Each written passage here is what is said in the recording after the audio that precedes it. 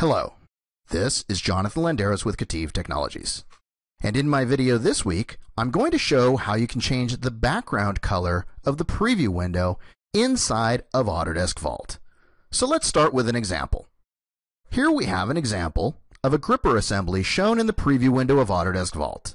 And you can see that the background is white, and this may not be your preference. For example, colors like cyan may not show up really clearly against the white background. So how can we change that? The preview is actually taking its settings from Autodesk Design Review. So in order to get that, all we've got to do is close down Autodesk Vault and start up Autodesk Design Review.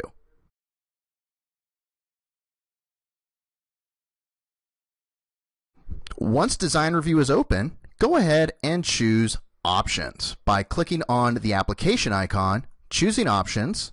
When the screen comes up, we can go to Sheet and change the paper color from white to black.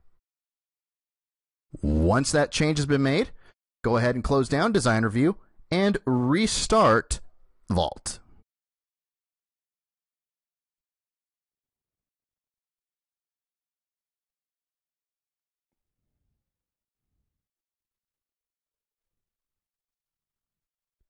Once you log back into Vault,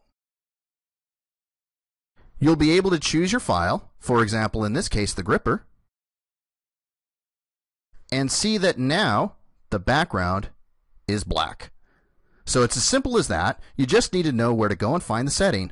And remember, this is per computer, so each one of your users can have a different setting for this preview based on their preference. That's it for this video. Thank you for watching, everybody.